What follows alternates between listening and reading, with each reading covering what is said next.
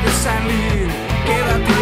Si quieres perder lo que tienes es una desgracia, no conseguirlo también.